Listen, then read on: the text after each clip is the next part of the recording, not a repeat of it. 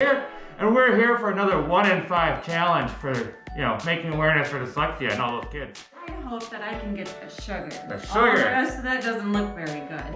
We're gonna play with you here. We're gonna try. We're gonna get order. So she can get right one here. Ah, open up. Mmm. That is not the sugar. What was it? Flour. Flour! Alright. Well. Oh. Mmm. Mmm. There's a lot of garlic in that one, Santa. Still not the sugar. Let's try number five. Mmm. Mmm. That is cinnamon. Mmm.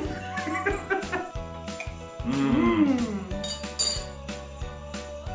In your one in five challenges, what can you do that would be funny? What would you like to see your parents do?